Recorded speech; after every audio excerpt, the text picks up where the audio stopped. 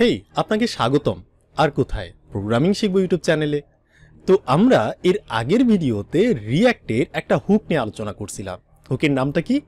Use state so আমরা কি একটু বোঝার চেষ্টা করছি যে ইউজ স্টেট হুকটা কীভাবে লিখতে হয়, কীভাবে কাজ করতেছে? জাস্ট একটু কনসেপ্ট নেওয়ার চেষ্টা করছি। আমি বলতেছি না যে আমরা সব কিছু শিখে ফেলছি হুকের ইউজ স্টেটের আমরা জাস্ট একটু বোঝার চেষ্টা করছি। আমি কখনোই ডিজার্ভ করি না যে আমি এক ভিডিওতে আপনাকে ইউজ স্টেট শিখাই ফেলছি। আপনিও ডিজার্ভ করিয়েন না। আর হচ্ছে আমরা যখন শিখছি, তখন কিন্তু আমরাও হচ্ছে ডিজার্ভ করি নাই যে একটা ডকুমেন্টেশন পড়ে মানে পাঁচ মিনিট, দশ মিনিট পড়ে বা একটা টিউটোরিয়াল দেখে আমি শিখে ফেলছি, এমন না। কাজ করতে করতে আমাদের কনসেপ্টটা ক্লিয়ার হয়েছে জাস্ট আপনি আইডিয়া নিয়ে থাকেন যে ইউজ স্টেট হুকটা কীভাবে কাজ করছে। তো এবার একইভাবে আমরা এই ভিডিওতে রিয়াক্টের আরও একটি হুক নিয়ে, অনেক ইম্পর্টেন্ট একটি হুক যেটি নাম হচ্ছে ইউজ স্টেট তো এবার আমরা এই হুকটাকে নিয়ে আলোচনা করার চেষ্টা করব। আমি আবারও বলতেছি, একদম হচ্ছে এমন ডিজার্ভ করার মানে দরকার নাই যে আপনি সব কিছু শিখে ফেলবেন জাস্ট কনসেপ্ট পাবেন। আমরা আরও সামনের দিকে যাব, আমরা রিয়েল টাইম প্রজেক্ট বানাবো, আস্তে আস্তেই কিন্তু আমরা জিনিসগুলোর উপর কমফোর্টেবল ফিল করব।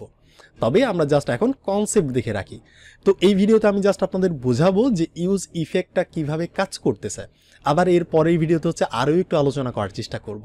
আচ্ছা তো আমরা এর আগের ভিডিওতে কি করছিলাম? এই যে ইউজ স্টেট নিয়ে একটু আলোচনা করার চেষ্টা করছিলাম। আচ্ছা তো এই জিনিসগুলোকে আমি এখান থেকে রিমুভ করে দিই, করলাম।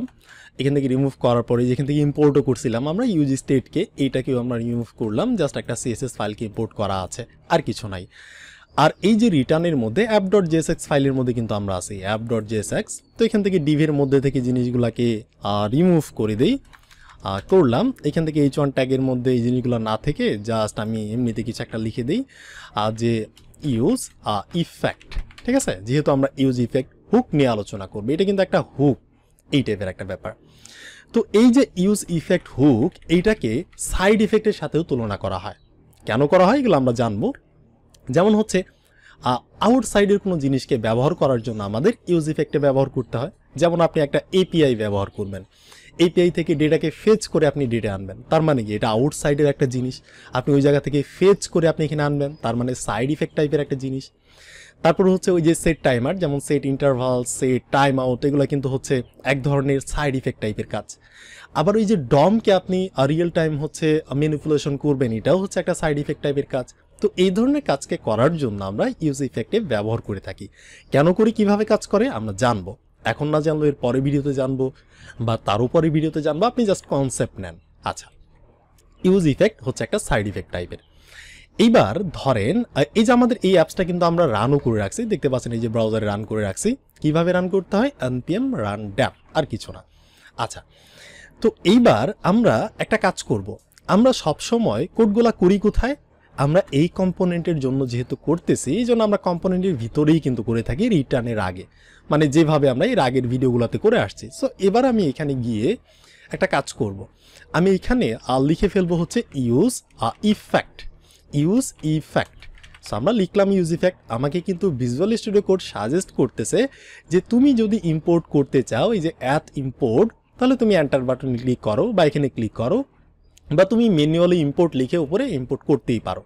তো আমরা এন্টার বাটনে ক্লিক করলাম, দেখতে পাচ্ছেন উপরে কিন্তু ইম্পোর্ট করা হয়ে গেছে। কাকে ইম্পোর্ট করছি? ইউজ ইফেক্টকে এবার কিন্তু ইউজ স্টেটটাকে আমরা ইম্পোর্ট করি নাই ইফেক্টটাকে করছি। ফ্রম কই থেকে? রিয়েক্টের লাইব্রেরি থেকে। এটাকে যদি আমরা ইম্পোর্ট না করি, তাহলে কিন্তু আমরা ইউজ ইফেক্ট এখানে ব্যবহার করতে পারব না। মনে রাখবেন। এবার এই ইউজ ইফেক্ট হুকটা দুইটা জিনিস নেয়, অর্থাৎ দুইটা প্যারামিটার নেয় এই ফার্স্ট ব্যাকেটের মধ্যে। তো দুইটা প্যারামিটার হিসেবে সে কি কি নেয়? একটা হচ্ছে সে ফাংশনকে নেয় এবং আরেকটা হইতেছে সে একটা ডিপেন্ডেন্সি নেয়। চলেন দেখে আসি কীভাবে করতে হয়। তো আমি এখানে একটা ফাংশনকে নিলাম সো ফাংশন এরপর হচ্ছে কমা দিয়ে আমাদের একটা ডিপেন্ডেন্সি নিতে হয়। তো আমরা সব সময়ের জন্যই কি করে থাকি? অ্যারেটাকে দিয়ে থাকি। আরও কিছু জিনিস দেই, তবে মোস্ট অফ দ্য কেসে আপনি সব সময়ের জন্য অ্যারেই দিবেন। আমরা একটা অ্যারে দিলাম। তাহলে দেখেন কমার এই দিকটা হচ্ছে একটা পিওর ফাংশন আর কমার এই দিকটা হচ্ছে একটা ডিপেন্ডেন্সি ডিপেন্ডেন্সি কেন আমরা নিতেছি একটু পরেই আমি আপনাদের বুঝাবো। আপনি জাস্ট আপাতত স্ট্রাকচারটা দেখেন। আর এই যে ফার্স্ট ব্যাকেট মানে সেকেন্ড ব্যাকেট এটার মধ্যে এন্টারে ক্লিক করে আমরা একটা স্কোপ তৈরি করলাম, একটা জায়গা তৈরি করলাম। এবার, এই জায়গার মধ্যে আমাদের সাইড ইফেক্টের যত কাজ কারবার আছে সব কিছু আমরা এটার মধ্যে করব। যেমন, আপনি যদি কোনো এপিআইকে ফেচ করতে চান সো সেটা হচ্ছে সাইড ইফেক্ট টাইপের একটা কাজ। সো আপনি এপিআইকে ফেচ করতে পারেন। আপনি ডম যে আছে ডমকে হচ্ছে আপডেট করতে পারেন। আবার হইতেছে আপনি মানে আপনি সাইড ইফেক্ট টাইপের কাজকর্ম করতে পারেন এই ইউজ ইফেক্টের মধ্যে। তো চলেন আমি প্রথমে একটা কাজ করি, একটা কনসোল লগ করি আমি এখানে। সো কনসোল লগ আমি এটার মধ্যে লিখতে পারি যে কিছু একটা যে আচ্ছা কনসোল লগ না দিয়ে আমি একটা অ্যালার্ট দিই। সো আমি এখানে গিয়ে বলতে পারি অ্যালার্ট অ্যালার্ট করতে চাচ্ছি। আমি এখানে বলতে পারি যে অ্যালার্টিং কিছু একটা। তাহলে চলেন আমরা দেখে আসি যে এইটা আমাদের এক্সিকিউট হয় কি না আর হলেও কীভাবে হইতেছে, আমাদের বোঝার দরকার আছে। আর অবশ্যই ইউজ ইফেক্টটাকে কিন্তু এই যে উপরে ইম্পোর্ট করতে হবে। যদি ইম্পোর্ট না করেন, তাহলে কিন্তু কাজ করবেন না। আচ্ছা চলেন আমরা ব্রাউজারে যাই। যাওয়ার পর দেখেন, আমরা এখানে আসার আগেই একটা অ্যালার্টিং দিয়ে দিছে। আচ্ছা ওকে তো করলাম। আরেকবার দিছে। ওকে তো করলাম। দুইবার অ্যালার্ট দেওয়ার পরে তারপর কিন্তু আমার ওয়েবসাইটের মধ্যে যে জিনিসগুলো আছে সেগুলোকে আমার সামনে দেখাইতেছে এক্সিকিউট করতেছে। ঠিক আছে? দুইবার কিন্তু দিছে। আমি দিছি একবার, সে দুইবার দিছে। কেন দিছে সেটা আমি একটু পরে আপনাদের দেখাচ্ছি। তবে আপনি জাস্ট ধরে নেন যে অ্যালার্টিংটা দিচ্ছে, দেওয়ার পরেই কিন্তু আমাদের ওয়েবসাইটের জিনিসগুলো দেখাইতেছে। তার মানে বোঝার চেষ্টা করেন, আমি এইখানে ইউজ ইফেক্টের মধ্যে একটা কাজ করছি। করছি, এটা আমার এই যে ওয়েবসাইটের মধ্যে কিন্তু কিছু লিখাও আছে, এই যে এখানে দেখতে পাচ্ছেন যে ইউজ ইফেক্ট আছে। সো এরকম ধরেন আরও অনেক কিছুই থাকতে পারে, তাই না? ওয়েবসাইটের মধ্যে ধরেন অনেক কিছুই আছে। তবে আপনি যখন ওয়েবসাইটটাকে মাউন্ট করবেন, অর্থাৎ প্রথম অবস্থায় যখন আপনি ওয়েবসাইটের মধ্যে ঢুকতে যাবেন, প্রথম অবস্থায়, অর্থাৎ যখন ওয়েবসাইট মাউন্ট হবে, অর্থাৎ প্রথম যখন লোড হবে, তখন আপনাকে ডিফল্টভাবে কি দেখাবে? যে রিলোড মারলাম, একটা অ্যালার্টিং দেখাচ্ছে। বাট এটা দুইবার দেখাইতেছে। সো দুইবার দেখানোর কারণ আছে, এখানে দেখেন এই যে মেইন ডট জিএসএক্স ফাইলের মধ্যে দেখেন, এখানে স্ট্রিক মোড কিন্তু চালু করে দেওয়া আছে। এই স্ট্রিক মোডটা কি করে? রিয়াক্টের সে প্রথমে কোডটাকে নিজে নিজেই রিড করে, ঠিক আছে? কোডটাকে নিজেই সে চালায় মানে চেক করার জন্য। আবার যখন চেক করানো হয়ে যায়, দ্বিতীয়বার যখন চালায়, তখন হচ্ছে মানে একদম ফাইনাল প্রোডাকশনের জন্য চালায়। বাট প্রথমবার সে একবার চেক করে। এই জন্য হচ্ছে দিচ্ছে। আমি যদি এই লাইনটাকে ধরেন কমেন্ট আউট করে দেই, করলাম, নিচের লাইনটাকে হচ্ছে আমি কমেন্ট করে দিলাম। তাহলে চলেন আমরা দেখে আসি এবার কি হয়। আচ্ছা আমি রিলোড মারলাম এখান থেকে। দেখেন একবার অ্যালার্টিং দিছে ওকেতে করলাম, আর কিন্তু কোনো অ্যালার্ট দেয় না একবারই কিন্তু দিছে। তার মানে ওই যে ইউজ স্ট্রিক মোডটা থাকার কারণে আমাদের দুইবার দিচ্ছিল। তারপর আমাদের ওয়েবসাইটের জিনিসগুলা সে কি করছে? দেখাইছে। তো এতটুকু এটা মোটেও কিন্তু হচ্ছে কমেন্ট করা উচিত না। সব সময় অন করে রাখবেন। এটা জাস্ট আমি আপনাদের দেখানোর জন্য দেখাইলাম। এই আচ্ছা। তার মানে ইউজ ইফেক্টের মধ্যে আপনি যেটাই করবেন, সেটা হচ্ছে প্রথম অবস্থায় যখন ওয়েবসাইটটা লোড হবে মাউন্ট হবে, তখন ডিফল্টভাবে একবার সেই জিনিসটাকে সে করবে, অর্থাৎ লোড করবে। এখানে যদি একটা এপিআই থাকতো, তাহলে সে লোড করতো। প্রথমে ওয়েবসাইটের কোনো কিছু দেখানো ছাড়াই সে লোড করতো। বোঝা গেল? আচ্ছা। এইবার চলেন এই যে ডিপেন্ডেন্সি যা আছে, আমরা যে এটার পাশে একটা ডিপেন্ডেন্সি দিতেছি, এইটা কেন দিতেছি, কীভাবে কাজ করতেছে, চলেন আমি দেখাই।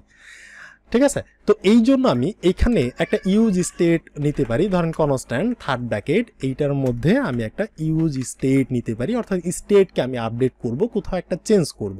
তো আমরা এর আগের ভিডিওতে দেখছি যে আমরা যদি আমাদের রিয়েক্ট ওয়েবসাইটের কোনো কিছু আপডেট করতে চাই, আমরা ম্যানুয়ালি করব না। রিয়েক্ট সেটা নিষেধ করে। রিয়েক্ট বলে যে তুমি স্টেটের সাহায্যে করো। সো আমরা এই জন্য স্টেট নিলাম ইম্পোর্ট করতে হবে। দেখতে পাচ্ছেন ইউজ ইফেক্ট ইম্পোর্ট করা হয়েছে, এটার পরেই কিন্তু ইউজ স্টেটও আমরা ইম্পোর্ট করছি।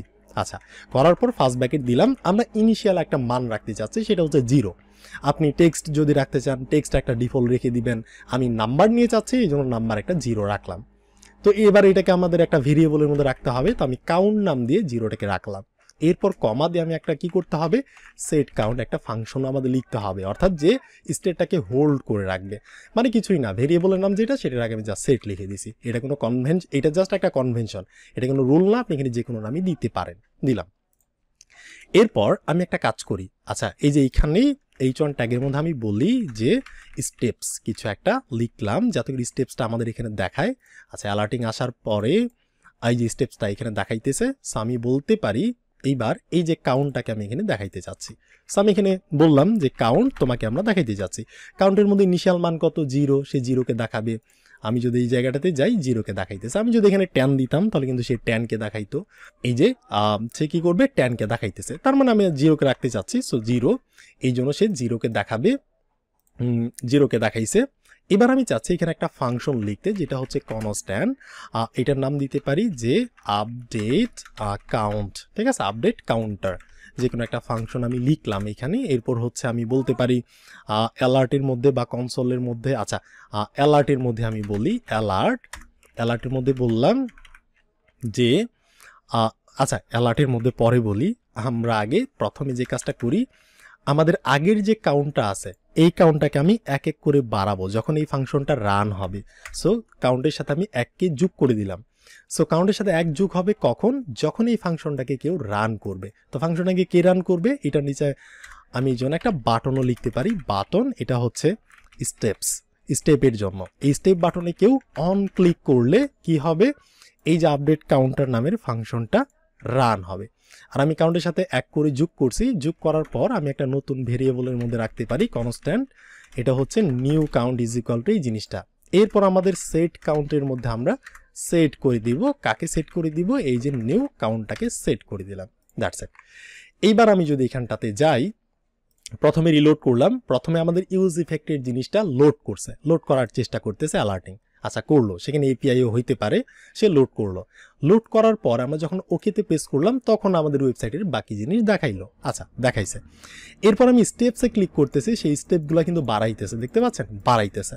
বাট আমি চাচ্ছি যে আচ্ছা আরেকটা ইউজ ইফেক্টে লিখে ফেলি। আচ্ছা তার আগে দেখেন, আমি চাচ্ছি যখন স্টেপগুলা কেউ চেঞ্জ করবে ওয়েবসাইটের মধ্যে, যখন আমাদের কাউন্ট চেঞ্জ হবে, তখন আমি একটা অ্যালার্ট দেখাইতে চাচ্ছি।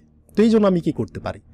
এই জন্য আমি একটা কাজ করতে পারি, ধরেন এটার নিচে আমি আরও একটা ইউজ ইফেক্ট লিখতে পারি। আপনি যত খুশি ইউজ ইফেক্ট লিখতে পারেন। আমি ইউজ ইফেক্ট আরেকটা লিখলাম। আচ্ছা এরপর আমরা জানি সে কী নেয়, দুইটা জিনিস নেয়। একটা হচ্ছে ফাংশন তারপর কমা দিয়ে আমি একটা ডিপেন্ডেন্সি দিই। ডিপেন্ডেন্সি আবার তো না দিলেও কোনো প্রবলেম হবে না। ধরেন আমি কমেন্ট আউট করলাম। এই যে আগের যে আমাদের ইউজ ইফেক্ট এখানে যদি আমি ডিপেন্ডেন্সি নাও দেই, সে কিন্তু কোনো মাইন্ড খাবে না। দেখেন এই অ্যালার্টটা কিন্তু ঠিকই দিছে। আমি যদি রিলোড মারি তাহলে কিন্তু এই যে অ্যালার্ট ঠিকই দিতেছে। বাট এটা হচ্ছে সিনটেক্স আপনাকে দিতেই হবে এবং সিনটেক্স ছাড়াও এটার কাজ আছে, যেটা আমি এখনই দেখাবো। ঠিক আছে? তো আমাদের এই যে নিচের ইউজ ইফেক্ট এটাকে আমরা অন করলাম, করার পর এই যে সেকেন্ড ব্র্যাকেটের মধ্যে এন্টার মারলাম। তাহলে আমাদের একটা সিম্পল ইউজ ইফেক্ট এই ইউজ ইফেক্টের সেকেন্ড ব্র্যাকেটের মধ্যে আমাদের যত কাজকর্ম করার দরকার, আমরা করব সাইড ইফেক্ট টাইপের যত কাজ। আচ্ছা তো এই জায়গাটাতে আমি একটা কাজ করি, যে অ্যালার্ট করে দিব আবার। এই অ্যালার্টটা করব আমি কখন? যখন আমাদের কাউন্টের স্টেটটা চেঞ্জ হবে। এখন তো জিরো আছে। যখন চেঞ্জ হবে, আমি এটাকে মানে অ্যালার্ট করে দেখাবো। তো এই জন্য আমি এখানে গিয়ে বলতে পারি যে কাউন্ট স্টেট ওয়াজ চেঞ্জড। ঠিক আছে? যদি চেঞ্জ হয় কাউন্টের স্টেটটা, তখন এই অ্যালার্টটা আমাকে দিবে। এই রকম আমি কাজ করতে যাচ্ছি। তো আমি যদি যাই, আমি যদি রিলোড মারি, করলাম। সো প্রথম অবস্থায় আপনি দেখবেন আচ্ছা আমি যদি এখান থেকে আমি যদি এখান থেকে প্রথম অবস্থায় রিলোড মারি, প্রথমে অ্যালার্টিংটা আসছে, কারণ ওই যে ওয়েবসাইট লোড হওয়ার সময় ইউজ ইফেক্টের জিনিসগুলো একবার কাজ করবে। ওকেতে প্রেস করলাম, এরপর হচ্ছে কাউন্ট ওয়াজ চেঞ্জ আমি তো চেঞ্জ করি নাই, সে কেন বলতেছে চেঞ্জ করছি? কারণ এই যে আমরা ইনিশিয়াল মান জিরো দিতেছি না, প্রথম অবস্থায় যখন সে জিরো পাইতেছে, তখন ভেবে নিতেছে চেঞ্জ তো প্রথম অবস্থায় সে একবার দিবেই। আচ্ছা এরপর ওকেতে করলাম আরেকবার অ্যালার্টিং আসছে, কেন আসছে? ওই যে ইউজ স্টিক মোডের জন্য দুইবার করে আসতেছে। ওকে করলাম। আরেকবার আসতেছে কাউন্ট স্টেট ওয়াজ চেঞ্জ ওই যে স্টিক মোডের জন্য আসতেছে এরপর ওকেতে করলাম, আমার জিনিসপত্র আসছে। এরপর যদি আমি স্টেপ বাটনে ক্লিক করি, তাহলে দেখেন জিরো থেকে ওয়ান হয়েছে বাট আমাদের কিন্তু কোনো অ্যালার্ট দেয় না স্টেট কিন্তু চেঞ্জ হইতেছে। আরেকবার ক্লিক করলাম, এই যে হাজারবার ক্লিক করতেছি বাট চেঞ্জ হইতেছে, কিন্তু আমাদের কোনো কি অ্যালার্ট দিতেছে না। সো এই জন্য এবার আমি যে কাজটা করতে পারি, এই যে কাউন্ট এই কাউন্টটাকে আমি এই ডিপেন্ডেন্সির মধ্যে ঢুকায় দিতে পারি। এইবার আমি কি বললাম? যে প্রথম অবস্থায় তো এটা লোড হবে ইউজ ইফেক্ট প্রথম অবস্থায় একবার দেখাবি। এরপর প্রতিবার যখন কাউন্টের মান যদি চেঞ্জ হয়, একটা চুল পরিমাণও যদি চেঞ্জ হয়, তখন আমরা এই জিনিসটাকে আর আবারও দেখাবো। মানে যখন যখন যতবার চেঞ্জ হবে, ততবার আমি এই জিনিসটাকে দেখাবো। তাহলে এবার চলেন, এই যে আমি কিন্তু ডিপেন্ডেন্সি দিছি। আচ্ছা এবার আমি যদি রিলোড মারি সব কিছু তো প্রথম অবস্থায় অ্যালার্টিং কোনটা আসছে? উপরের ইউজ ইফেক্টটা এটা সবসময়ের জন্য ওয়েবসাইট যখন ওপেন করা হবে, যখন ডেটা লোড করবে, তখন এটা দেখাবেই দেখাবে। ওই ইউজ ইফেক্টের জিনিসগুলো দেখাবে। আচ্ছা করলাম। এরপর সে কাউন্ট স্টেট ওয়ার চেঞ্জ কারণ সে একবার প্রথম অবস্থায় জিরো পাইতেছে, এর জন্য হচ্ছে সে একবার দেখাবে, দেখাইলো। এরপর এই জিনিসগুলোকে দুইবার করে দেখাচ্ছে ইউজ স্টিক মুডের জন্য। এরপর দেখেন সব কিছু ঠিকঠাক আছে, কোনোই প্রবলেম নাই। আমি যদি স্টেপ বাটনে ক্লিক করি, তাহলে দেখেন এই যে state count state was change ওকেতে করলাম, এই যে চেঞ্জটা আসছে। এরপর যদি আমি আবারও চেঞ্জ করতে চাই, তাহলে আবারও আমাকে অ্যালার্ট দেখাবে চেঞ্জ এই যে চেঞ্জ হয়েছে আরেকবার যদি আমি চেঞ্জ করতে চাই, তাহলে যদি আমি এখানে ক্লিক করি, তাহলে দেখাচ্ছে এই যে ওয়াজ চেঞ্জ তারপরে এখানে চেঞ্জ হচ্ছে। তার মানে ব্যাপারটা বুঝেন যে আপনি এই ইউজ ইফেক্টের মধ্যে ধরেন এপিআই থেকে ডেটা আনছেন, যেখানে অনেকগুলা ডেটা আছে। তো ডেটাগুলোকে আপনি গ্রিড আকারে সাজাইছেন, ঠিক আছে? অনেকগুলা ডেটা ই কমার্স ওয়েবসাইটের মতো। এবার একটা জিনিসে মানে একটা কম্পোনেন্ট থেকে, ওই ছোটোগুলো তো কম্পোনেন্ট মানে এক একটা বাক্সের ভিতর থেকে যদি, এক একটা ডেটার ভিতর থেকে যদি কিছু চেঞ্জ হয়, ঠিক আছে? চেঞ্জটা যে হয়েছে চেঞ্জ হওয়ার পর কিন্তু সেটাকে আপডেট করতে হবে ওভারঅল জিনিসটাকে। তো এই আপডেট আপনি কীভাবে করবেন? তো এই আপডেটটা করার জন্য এই রিয়াক্টের মধ্যে খুব সিম্পল জিনিস, যে একটা ইউজ ইফেক্টে তারা ঢুকাই দিছে। ঠিক আছে? তারপর আমরা এখানে ডিপেন্ডেন্সি আকারে সেই জিনিসটা মানে একবার প্রোডাক্টটা সবগুলা প্রোডাক্ট আমাদের এখানে আসছে। তো সবগুলা প্রোডাক্ট তো সবসময় থাকবে না, কিছু প্রোডাক্ট ডিলিট করে দিব আমরা। যখনই ডিলিট করে দিব, তখন সে আবার কি করবে? সম্পূর্ণ ডেটাটাকে সে আরেকবার লোড করবে। এই যে এখান থেকে দেখতে পাচ্ছেন, আরেকবার আমরা লোড করতেছি। করার পর সে দেখবে, কোথায় কোথায় চেঞ্জ করা আছে। যে জায়গাটাতে চেঞ্জ করা আছে, সেই জায়গাটাতে সে কি করবে? ইমপ্রুভ করবে। করার পর সে আরেকবার জিনিসটাকে দেখাবে। ঠিক আছে? আরেকবার জিনিসটাকে দেখাবে। তো এইভাবে হচ্ছে ফিল্টার করার সময় সার্চ করার সময় অনেক কাজে লাগে ইউজ ইফেক্টটা তো এতটুকু ভিডিও থেকে আপনি জাস্ট বুঝেন যে ইউজ ইফেক্টটা কি করে? ইউজ ইফেক্টের মধ্যে আমরা সাইড ইফেক্ট টাইপের ডেটা নিয়ে কাজ করি। যেমন এখান থেকে প্রধান জিনিস হচ্ছে এপিআই এপিআই ডেটাগুলোকে আমরা ফেচ করার জন্য এটার মধ্যে করি। করার পর স্ট্রাকচারটা হচ্ছে একটা এমটি একটা অ্যারে দিয়ে দিই ডিপেন্ডেন্সির জন্য, যাতে এটা বারবার না করে, সেই জন্য হচ্ছে আমরা একবারই দিয়ে দিই। আর আমরা যদি বলি যে না, প্রতিবার যে কোনো একটা স্টেট চেঞ্জ হওয়ার সাথে সাথে আমরা জিনিসটাকে আরেকবার লুট করব। তখন হচ্ছে আমরা সেই নামটা এখানে দিয়ে দিই ডিপেন্ডেন্সি আকারে লাইক হচ্ছে কাউন্টের মতো। তারপর সে এক একবার এক একটা জিনিস চেঞ্জ হবে, আবার ধরে ধরে ওই জিনিসগুলোকে নিয়ে সে দেখবে কোথায় চেঞ্জ হয়েছে, কি হয়েছে, আপনাকে দেখাবে। তারপর আপনি এখানে একটা কাজ করতে পারেন। তো এরকমটাই হচ্ছে এই ইউজ ইফেক্টের কাজ। তো আমি যদি এই জিনিসটাকে আপনাদের আরও একবার দেখাই সো আমি কি করতে পারি? আমি এখান থেকে জিনিসটাকে রিমুভ করলাম। ঠিক আছে? করলাম। জাস্ট একটা ইউজ ইফেক্ট আছে। এটাকেও আমি রিমুভ করলাম। জাস্ট আমাদের একটা ইউজ স্টেট আছে। সো আমি কি করব? আমি এখানে গিয়ে বলব যে আমি একটা ইউজ ইফেক্ট সাইড ইফেক্টের জন্য, কোনো একটা কাজের জন্য আমি ইউজ ইফেক্ট ব্যবহার করতে চাচ্ছি। সে কি নেয়? সে দুইটা জিনিস নেয়। একটা ফাংশন কমা দিয়ে আর একটা ডিপেন্ডেন্সি আমরা সবসময়ের জন্য খালিয়ে দিব। এইবার এই ফাংশনের মধ্যে আমরা কি করব? আমাদের যত কাজ কারবার করার আমরা এখানে করব। ধরেন কনসোল লগের মধ্যে আমরা করলাম যে হোয়েন লোডেড ঠিক আছে? হোয়েন লোডেড যখন ডেটা লোড হবে, তখন এই ইফেক্টটা একবার রান হবে। চলেন আমি এখানে গিয়ে দেখে আসি। ইন্সপেক্ট করে কনসোল লগের মধ্যে রিলোড মারলাম। সো দেখতে পাচ্ছেন দুইবার দিছে ওই যে স্টিক মোডের জন্য। মানে ডেটা লোড হয়েছে হওয়ার পর আমাদের ওয়েবসাইটটাও শো হয়েছে প্রথম অবস্থায় এটা দিল। এরপর যদি আমরা এখানে স্টেপগুলোকে চেঞ্জ করি মানে যেটা খুশি করি, এখানে কিন্তু সে কোনো প্রবলেম করবে না। বাট আমি যদি চাই যে না, প্রতিবারই যখন আমাদের স্টেটটা চেঞ্জ হবে, তখন আমি একটা কিছু করতে চাচ্ছি তো এই জন্য হচ্ছে আমি এখানে বলতে পারি মানে কি চেঞ্জ হইলে, এখানে কিন্তু আরও অনেকগুলো স্টেট থাকতে পারে। যেমন কনস্ট্যান্ট এখানে থাকতে পারে যেমন নেম এরপর হইতেছে সেট নেম এরপর হইতেছে আমি ডিফল্টভাবে ইউজ স্টেটের মধ্যে একটা নামও সেট করতে পারি। যেমন হচ্ছে কিছু একটা লিখতে পারি প্রোগ্রামিং শিখব। ঠিক আছে? এই জিনিসটা ডিফল্ট অবস্থায় আছে। বাট যখনই এটা চেঞ্জ হবে, ঠিক আছে? যেমন আমি এখানে একটা ফাংশনও লিখলাম যে আমি একটা কাজ করি আমাদের আগের ফাংশনটাতেই আমি বলতে পারি, আমাদের যে নেম আছে, ওই নেমের সাথে আমরা কি করতে যাচ্ছি? আমরা এখানে ধরেন যোগ করতে যাচ্ছি কিছু একটা। যেমন হইতেছে জাস্ট কোডিং ঠিক আছে? এই লেখাটা যখন চেঞ্জ হবে মানে ডিফল্ট অবস্থায় প্রোগ্রামিং শিখব আছে। বাট যখন এটা চেঞ্জ হবে তখন কি হবে? কনস্ট্যান্ট নিউ নেম একটা নাম দিলাম নিউ নেমের মধ্যে রাখলাম, এরপর হইতেছে আমরা সেট নেমের মধ্যে এটাকে সেট করে দিলাম। সো করলাম। এরপর নিউ নেমটাকে আমরা এখানে দিয়ে দিলাম নিউ নেম বসাই দিলাম। এরপর আপডেট কাউন্টার এইটার নামটা আচ্ছা বাটনের মধ্যে থাকল। এবার দেখেন, প্রথম অবস্থায় যখন আমরা লোড করতেছি, তখন হচ্ছে আমাদের লোডটা আসতেছে। এরপর যখনই আমরা এটাকে চেঞ্জ করার চেষ্টা করব আচ্ছা এখান থেকে আসতেছে না, কারণ এই যে কাউন্টের মধ্যে আমরা আগের কাউন্টটাকে দিয়ে রাখছি সো আমাদের এই জায়গাটাতে নেম দিতে হবে। নেম আর এখানে আমরা বলতে পারি এটা হচ্ছে নেম এরপর আমি কি কাজ করতে পারি? এই যে নেমটাকে আমি জাস্ট এই ডিপেন্ডেন্সির মধ্যে বসাই দিতে পারি। যে যখন যখন আমাদের এই স্টেটটা চেঞ্জ হবে নেমের স্টেটটা যখন যখন চেঞ্জ হবে কোডিং হবে, তখন তখন হচ্ছে আমাদের এই জিনিসটা দিবে। আচ্ছা এবার আমি রিলোড মারলাম প্রথম অবস্থায়, এই যে দেখতে পাচ্ছেন ইউসি ইফেক্টের জিনিসগুলো আসছে, আমি যদি স্টেপে ক্লিক করি তাহলে দেখেন এই যে হোয়েন লোডেড এই জিনিসটা আসতেছে, আরেকবার ক্লিক করলাম, এই দেখেন এই যে দুইবার তিনবার মানে যত কয়বার আমরা চেঞ্জ করব, সে কি করবে? এই যে, এই জায়গাটাতে দিবে। এই যে দেখেন, এই যে কোডিং কিন্তু অ্যাড হইতেই আছে আর এখানে আমাদের দিতেই আছে। যে সাতবার আমরা ক্লিক করছি। আশা করি আমি আপনাদের বোঝাতে পারছি। আরও ভালো বুঝবেন এর পরে ভিডিওতে যখন আমরা এপিআই নিয়ে কাজ করব। তো আপনি এতটুকু ভিডিও থেকে জাস্ট এইটা মাথায় রাখেন, যখন আমরা ডেটা লোড করি, তখন আমরা ইউজ ইফেক্টের মধ্যে লোড করি। সেটা প্রথম ওয়েবসাইট মাউন্ট হওয়ার সময় এক্সিকিউট করে লোড হয়ে থাকে। এরপর আমরা যদি ডিপেন্ডেন্সি দেই তাহলে কি হয়? সেই জিনিসটাকে যখনই চেঞ্জ করা হবে, তখন সে আবার সেই টোটাল জিনিসটাকে ধরে আনে, ধরে এনে সেই জায়গাটাতে ইমপ্রুভ করে। তো এই ধরনের সাইড ইফেক্ট কাজ বলে এইগুলাকে যেমন এপিআই বলেন ডমকে আপডেট করা বলেন সেট টাইম আউট ইন্টারভাল এই জিনিসগুলো হচ্ছে সাইড ইফেক্ট টাইপের কাজ।